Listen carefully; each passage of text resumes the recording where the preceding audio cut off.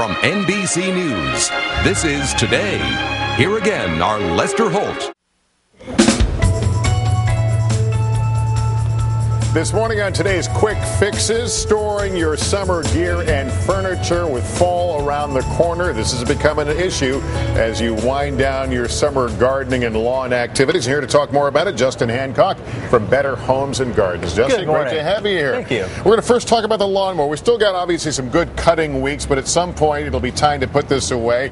I'm the kind of guy I tend to just put it in the corner of a garage and call it quits. There's more to it. Though. Right, right. If you want to keep your mower in tip-top shape, first of all, empty the gas tank. Really super easy to do. Just run the mower till it runs out of gas. Okay. It's important to do that because you don't want bad gas to um, gunk up the engine over the winter. So that would be a bad thing. All right. What else would you? What else would you Uh, do? then you want to empty, um, change the oil. Um, and a lot of people don't know uh, lawnmowers have air filters. Um, usually at the end of the throttle here in a plastic case. Just pop it off, check it out. If it's brown and gunky, replace it with a fresh one. Put it back on. that looks pretty easy to do. it's super simple. But you will you will change your oil now, not not in the spring. Right, Change right, right. Okay. So it's all properly lubed up when you start. And then a lot of people also don't know you want to sharpen the blades. Really easy. Just get a blade sharpener, run it up and down each of the edges. Um, a clean cut on your lawn will keep it looking beauty, beautiful and healthy. okay, good. Let's talk about uh, lawn and gardening tools now, because you forget about them and then you come back in the spring and they're all rusty. Um, stop rust by cleaning them off really well, um, so you don't get the, the rust building up underneath debris. Sure. And then I like to use some mineral spirits and just wipe them down with that. It gives you an extra layer of protection, does better. And then store them in a bucket of sand with some mineral oil. So if they've got to be outside, that's a good way to do it. Um, or even in your garage. Even in the garage, Yeah, that'll okay. help prevent further oxidation. A bucket of sand.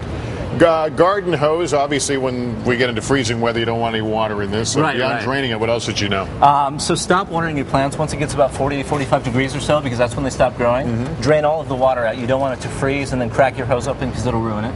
all right. Outdoor furniture. This this stuff can go bad in a hurry in a rough winter. It is, it is. Um, to, to protect it from the cycles of freezing and thawing, it's best to move it inside if possible. If not, cover it with a waterproof tarp.